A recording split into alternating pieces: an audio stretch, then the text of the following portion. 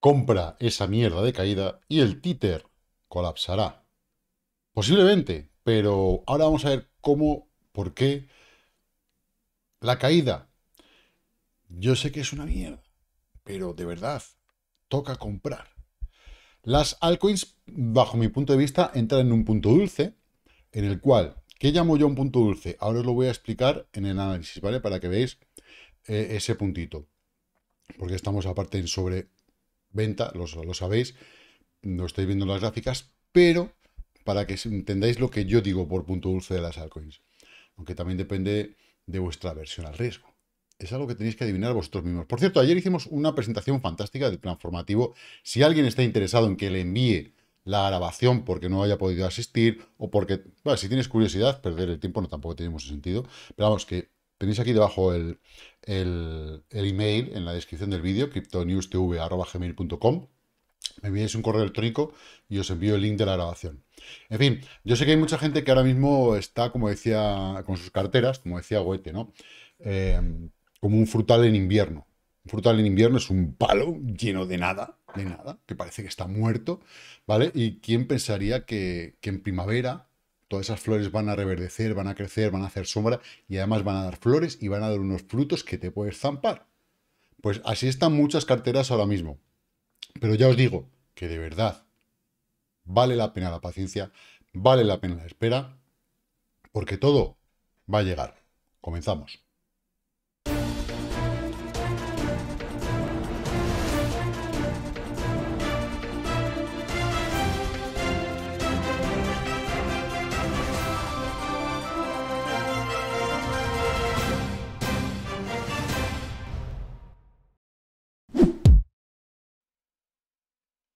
Bueno, pues ya estamos por aquí.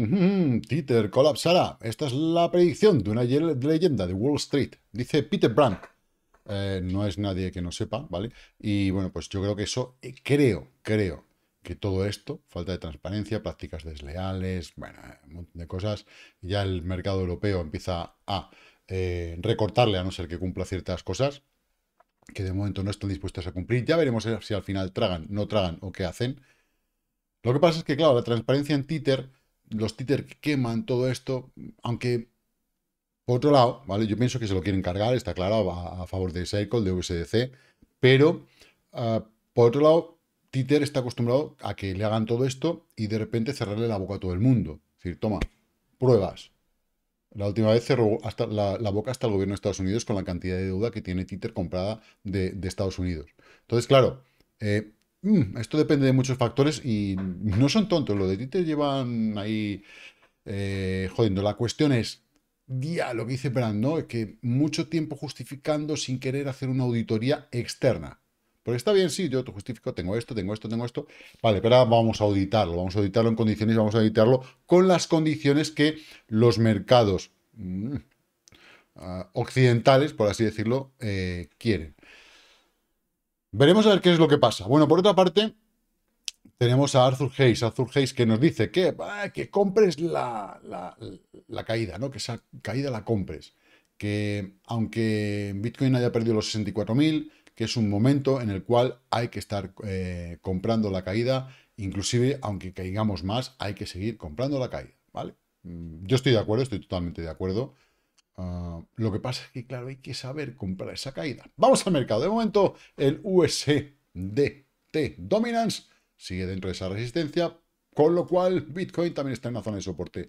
Ahora mismo, fijaros que en esta cuña que estábamos haciendo, ya vimos esta mañana que si teníamos un máximo que no sobrepasaba al anterior, vamos a buscar al mínimo anterior. Lo hemos buscado, lo hemos pasado, hemos retesteado, no hemos podido y ahí estamos jugueteando. Bueno, vamos a quitar eh, todas estas eh, marcas que tenemos por aquí para no tener tanto ruido visual.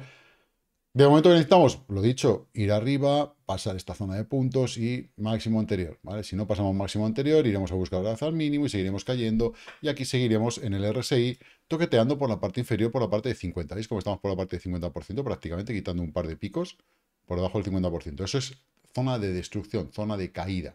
Cuando estamos en más tiempo en la zona por encima del 50%, lo vemos, por encima, por encima, o un pico por debajo, pero estamos mucho tiempo por encima, es zona de construcción, estamos subiendo. Mm, ¿Qué más tenemos por aquí? Bob, el mercado tradicional. Vamos.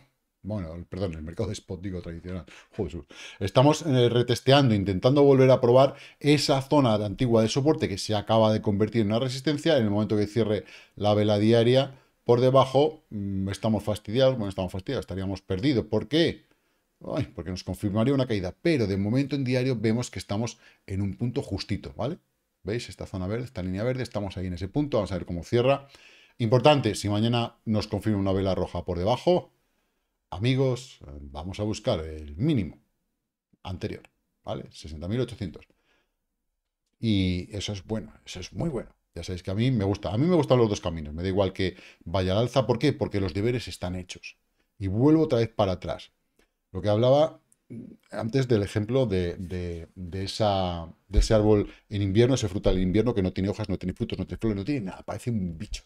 Eso es lo que parecen las carteras ahora. Pero luego empiezan a salir florecitas y dices, ay madre mía, que vienen los verdes por aquí y no son las hojas, son billetes. Entonces, paciencia. Ahora, me da igual que caiga, me da igual que suba. Dicho, los deberes gordos están hechos, el resto es trading. En un trade tú te puedes equivocar y tienes que aceptar la pérdida. Aceptar la pérdida es parte del beneficio. Ya está, tal cual, ¿vale? Y esto es así.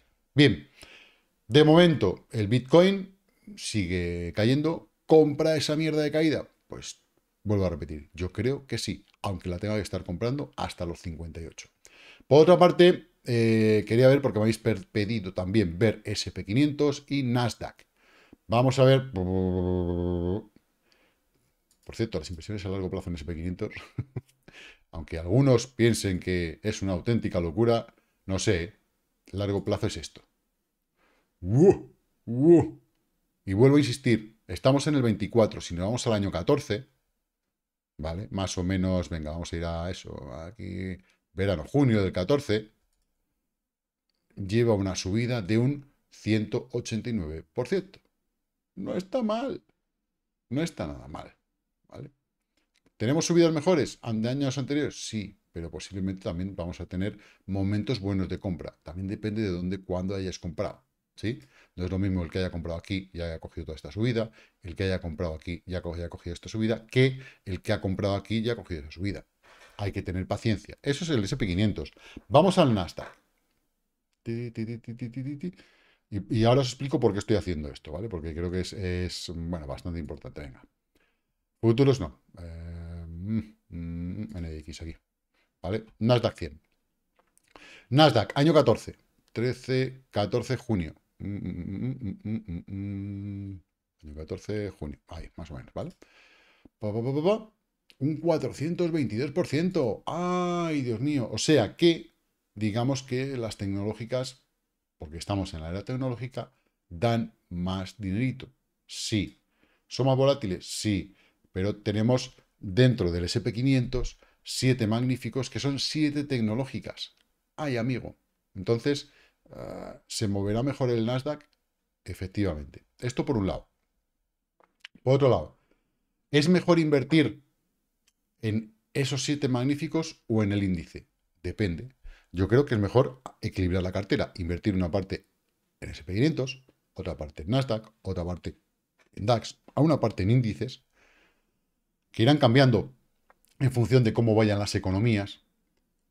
Y otra, parte, y otra parte debe ir a las acciones en concreto. ¿Por qué? Porque si nos vamos, por ejemplo, a Meta, ¿vale? Decimos, joder, no sé, aquí. Vamos a Meta año 14. Mm, aquí, marzo, venga. Mayo, junio. Junio del 14, venga. Taquetas. Hicimos, ostras, un 700%. Ay, amigo, mucho más que el índice. Evidentemente. Microsoft, año 14. Eh, venga, ay, junio. Tacatas. Hostis, casi un mil por cien.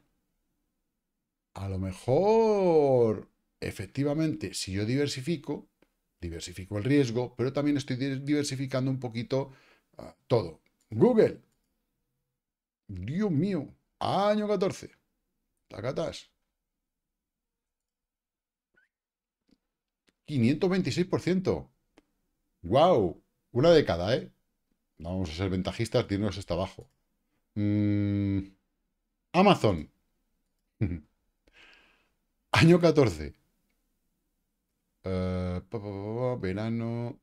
Más o menos por aquí. Venga, junio. Taquetas. Un 1028%. No es tan mal.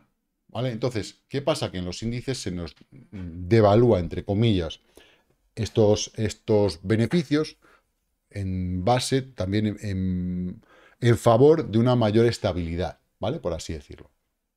Entonces, hay que tener índices o hay que tener acciones. Yo creo que hay que tener una parte de todo. Buscar un equilibrio de tal forma que mm, repartas eh, riesgos, pero también repartas esos beneficios. Bien, el total market. De momento, el total market del mercado cripto está aguantando bien el soporte. Las altcoins están haciendo buen favor en el día de hoy. Vemos que la dominancia de Bitcoin hoy cae y vamos a la del USDT que sube y la del USDC también eh, sube un poquito, pero eh, la estabilidad, digamos, en este movimiento, ¿vale? En la dominancia del Bitcoin y vamos aquí al total market, y de momento el no perder esta zona de soporte hace que eh, no haya demasiadas pérdidas en las altcoins en favor de mantener el mercado un poquito estable. El dólar index, ya hemos dicho esta mañana que había roto la zona de resistencia que tenía, a la siguiente que tenemos en 106.3, perdón. Em, altcoins, bueno, PP rebotando. Yo sigo pensando que cualquier retroceso de Pepe, si perdiera esta línea, yo sí le entraría, ya lo dije el otro día, no lo ha perdido, con lo cual no le he entrado de momento, me interesa ver un poquito qué pasa. Si, veo que el mercado se estabiliza en los próximos días, sí le meten una entrada, seguro. O sea, eso lo tengo bastante, bastante claro. Eh, son pequeñas apuestas, ¿vale? No dices, no, es que tengo 10.000 en la cartera y le voy a meter 5.000, ni de coña, ¿vale? Le puedes meter 500, no sé, algo así, ¿vale? Eh, cortos de Bitcoin, ¿qué pasa? ¿Por qué caen? Joder, han intentado ir al alza, no han podido, están cayendo. A pesar de que Bitcoin está bajando, ¿Estaremos empezando realmente a encontrar suelo? ¿Estarán claudicando ya finalmente los mineros? Yo creo que sí, ¿vale? Que están en dentro de ese movimiento de claudicación y de adaptación a las nuevas métricas que tienen de beneficios. Han vendido bastante, ya están parando de vender. Así que bueno, bien, por ese lado muy bien. Vamos a ver qué pasa con los fondos. Estos fondos, vamos, en el día de hoy, bueno, pues están, eh, la vela es verde, pero hemos abierto con un gap negativo. Eh, pero bueno, que haya ido, había impulso al alza, vamos a ver cómo cierran, eso está, mm, por otro lado, bastante, bastante bien, ¿no? Eh, tenemos pérdidas, bueno, en Lineware, alguna de las pequeñas, Anfi, que sigue buscando una, zona de suelo, Neblio, Hydra, Boson Protocol, bueno, los tres eh, magníficos, hay, hay algunos poquitos, no, esto no es de Boson, esto es otro, el otro es Ocean Protocol, perdón. Estoy ya loco ya con los temas magníficos. Eh, yo no sé si, si alguien sabe si ya ha salido esa moneda de la fusión y tal, que me lo diga porque yo quiero comprarla. Eh, People, Tier, Fiat, One Inch, 5%. Eh, Melos también está en batalla. Matrix por debajo del 4%. Trias 5.20. Zona de soporte si la pierde. El pivote, para mí importante, está aquí en 4.700. Ya lo dejamos marcado el otro día. Naka 4.52. Está intentando igual esta zona de resistencia, que era el anterior soporte, esa zona de resistencia, intentar ahí, pasarla. Eh, Atlas, Polis también, 4 para abajo. Bueno, lo bueno que tiene es que mm, está muy bien. Yo ya le he metido un poquitito más. Eh, Presearch Hondo, 3.78, que también está bastante bien, desde este pivote, soporte y a correr. Y ahora vamos a ver una cosa que os va a interesar. Río, porque hace tiempo que no la vemos y es muy buena. FED, Igual, ¿vale? Esta sí de los, de los siete magníficos, de los tres magníficos, perdona, eh, vienen y los tres mosqueteros valen aquí a, sus resistencias. No pueden de momento, ya podrán. Ethereum Classic, ya estamos por debajo del 5%, no es interesante. Vamos a la parte de ganancias que tenemos a TRB, bien, intentando ir al alza, está desinflándose un poquito. PEDEX Bake con un 10%, Gas 6,68, Noodle 6,46. Lleva un par de días muy buenos. Ahora aquí debería consolidar un poquito la subida para intentar romper la siguiente resistencia. Eh, Pepe, un 4, un 4.28, está tremenda, vamos. HNT, eh, Phantom, Alice, Niar. También muy, muy bien. Bueno, Alice, que la tiene mucha gente, un 2.65 no es significativo. Lo que es significativo es que haya parado en la zona de soporte. ¿Vale? Clavadito otra vez.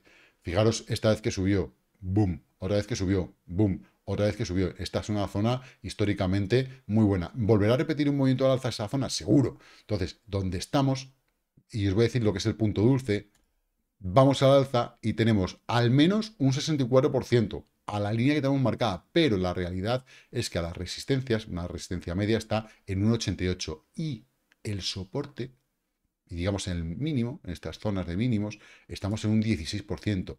Para mí eso es una zona dulce, una zona en la cual yo si hago una entrada, mi retroceso no va a ser muy grande. Y si hago 1, 2 y 3, la picadora Mulinex va a ser menos grande. Pero bueno, que yo en esta no me la jugaría, haría una entrada y a correr y a esperar. Que posiblemente nos den en algún, algún momento alguna entrada un poquito más abajo. Posiblemente. Pero eso dependerá del capital y de la gestión que tenga cada uno del riesgo y del dinero. Vale, Ordi y NJ también están positivo, e igual una zona de soporte muy similar. Eh, y bueno, ya poca chicha. Los Axis andan por ahí y, poco más que añadir. Tron. está haciendo de puta madre Tron, lo está haciendo muy, muy, muy bien. Así que bueno, vamos a ver un valor que hace mucho tiempo que no vemos. Eh, quiero verlo por aquí en los pares contra Bitcoin. ¿Vale? Porque el otro día me dijo alguien, oye, eh, está entrando. Mm, mm, mm, vamos a quitar uno, dos y tres. Vamos a ir quitando lo que, lo que se deslista. Waves también. Uh, mira, que, hemos traído Waves, ¿no? Vale. Vamos a buscar XMR. Monero. Monero bajo un 470.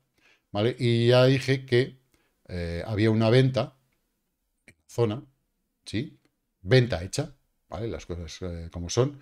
Tenía el precio medio en esta zona. Del precio medio en toda esta caída eh, hice alguna comprita más abajo, pero no apuntado al precio medio, con lo cual me da igual. Desde esta zona de precio medio que tenía marcada aquí hasta la zona de venta, que estaba ahí, estamos hablando de un 18, creo que ha sido un poquito menos. Eh, ahora, eh, retroceso, ¿he vendido todo? No, no he vendido todo, ¿vale? Yo lo digo, para mí, creo que aquí vamos a hacer una zona de acumulación y si sigue al alza y toca este punto, sí venderé. A la espera de que del boom de Bitcoin, ya lo vendo todo, ¿vale? Del boom hacia arriba de Bitcoin, y bueno, pues que Monero mm, creo que todavía tiene que hacer aquí una divergencia que sea bajista y eso nos indicará probablemente que Bitcoin hará su juego y tendremos que, estar preparados, ¿vale? Para el punch al alza de Bitcoin.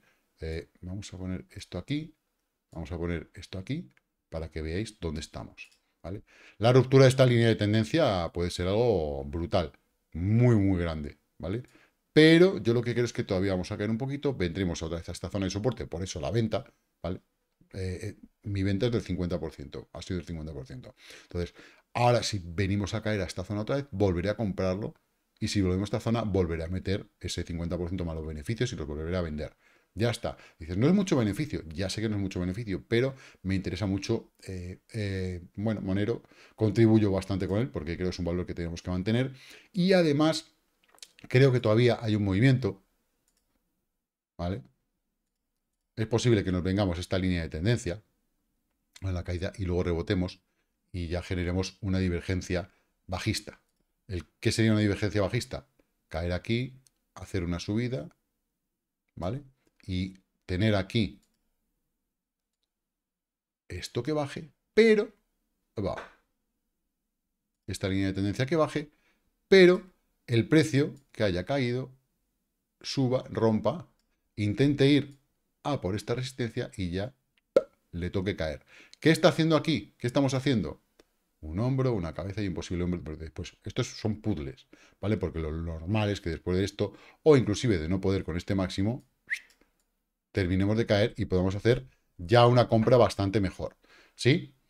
Es un poco lo que yo pienso de, Monero y lo que voy a hacer y lo que estoy haciendo. Ya dije en su día que una vez que llegásemos a esta zona de máximos eh, bueno, esta zona máxima, esta zona vendería una parte importante, no todo, no lo he vendido todo, lo vuelvo a repetir, 50%, volvemos a caer, compro el 50% con los beneficios en la caída, y a la siguiente lo venderé posiblemente todo, para esperar a que Bitcoin al alza, terminamos, y volvemos a comprar eh, nuevamente Monero. Es lo que yo hago, ¿vale? Os lo digo tal cual, a corazón abierto, como suelo hacer con todo.